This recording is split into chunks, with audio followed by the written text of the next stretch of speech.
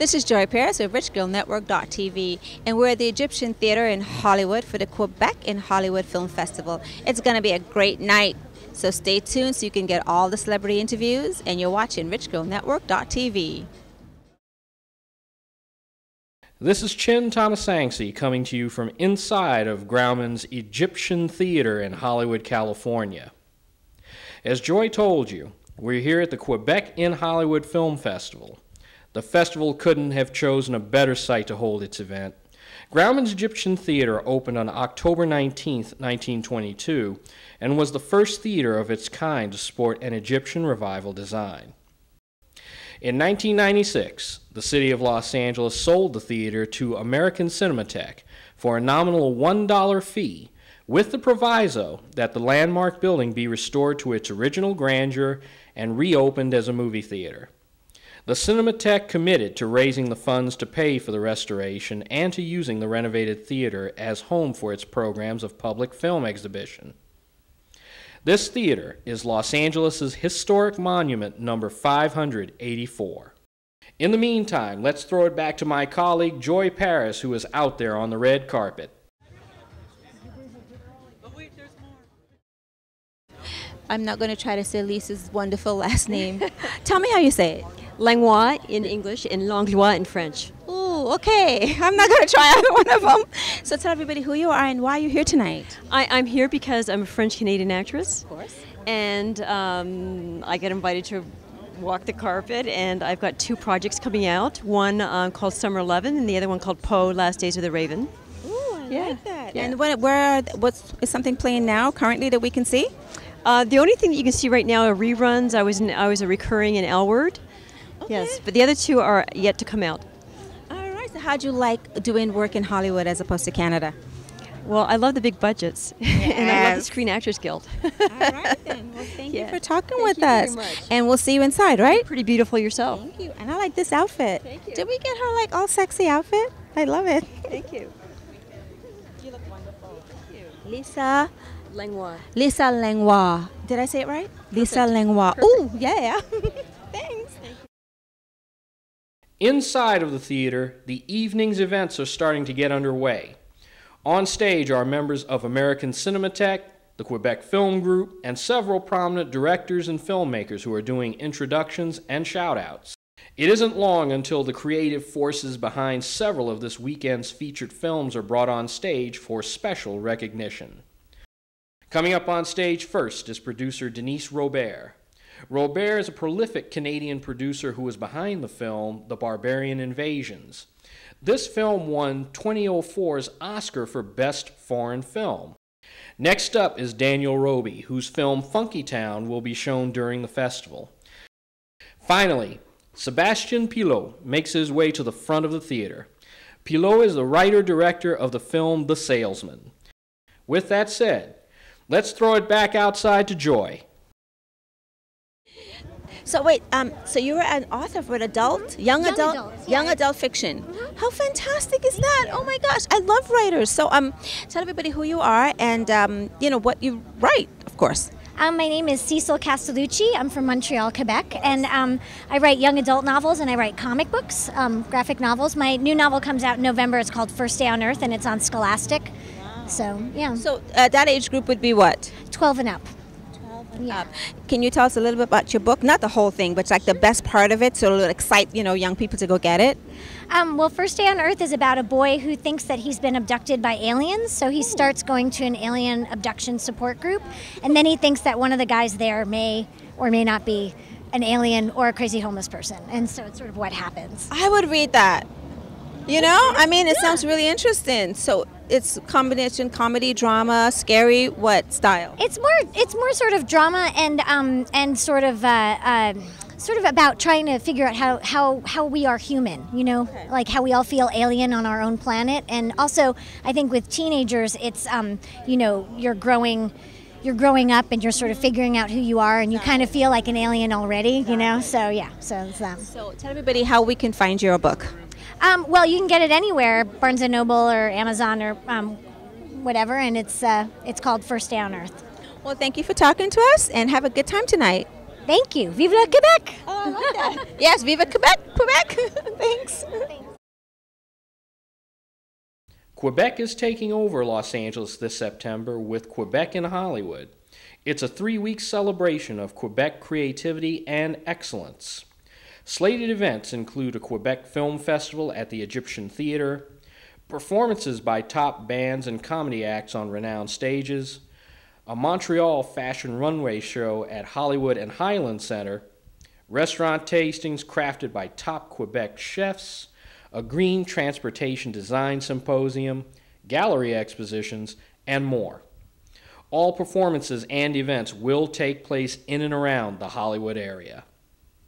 We'll bring you more through the evening from inside of the Egyptian Theater. In the meantime, let's throw it back to my colleague Joy Parris, who is out there on the red carpet. I love that dress. Thank you. Oh, look at that. I like this dress. Can I take her dress and you know we can go in the bathroom and change? I think this is so way cool. So Miss Beautiful, you're Mia Hope. Yes, I'm and Mia Hope. tell us um what show you're in and, and a little bit about what you're doing. I'm doing acting and modeling. Last movie which I was in was Emmanuel, American Nudist, and uh, Le Critique.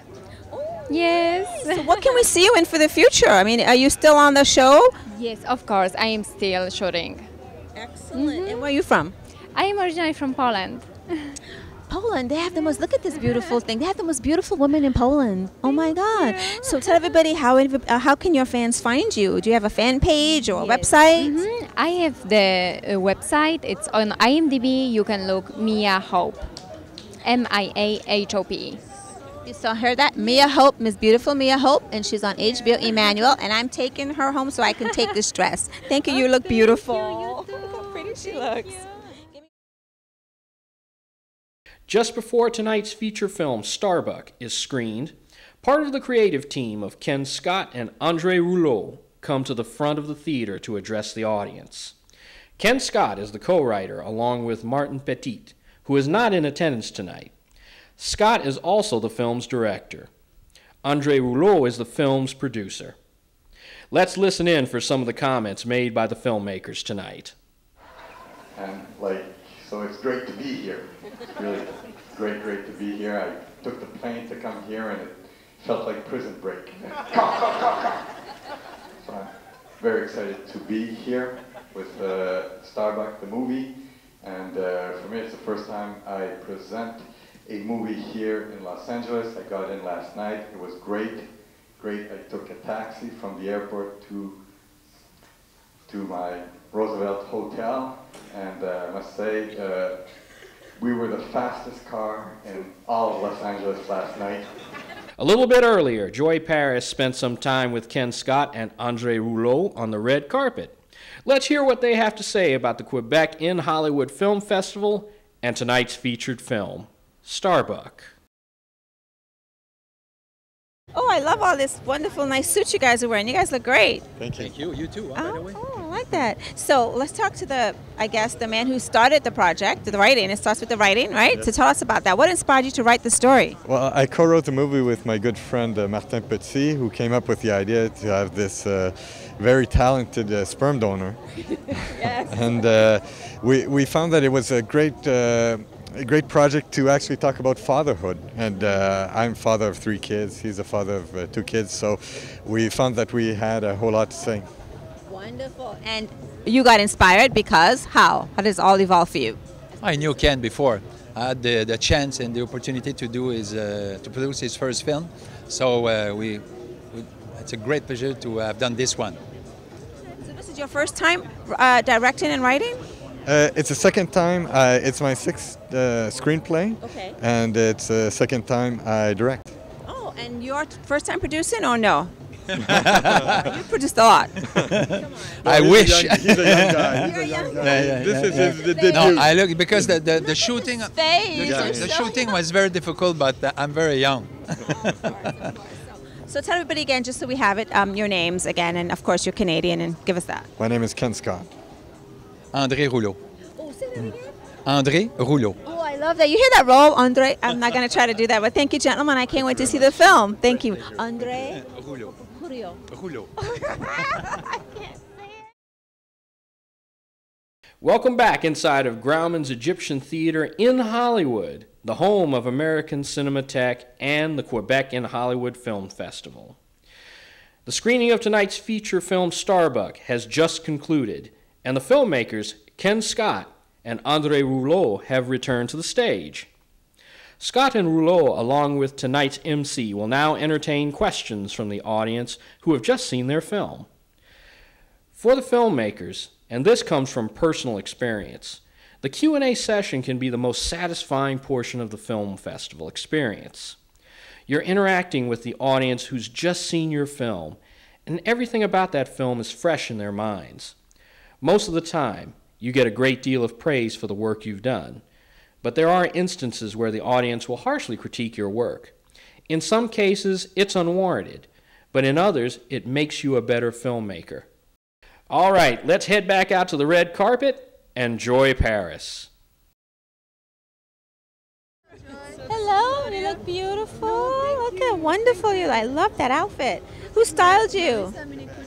Oh wait, come over here and tell us who that is. It's a designer from Montreal. Come closer. From Montreal. Um, what? Oh, I like that. Okay. Actually, a coat and a dress. So tell us the designer's name. Marisa Minicucci. Marisa Minicucci. Siamo. M. Siamo. See, I love this French accent. So tell us. Oh, it's Italian, whatever. Italian, French, all sound the same to me. What do I know?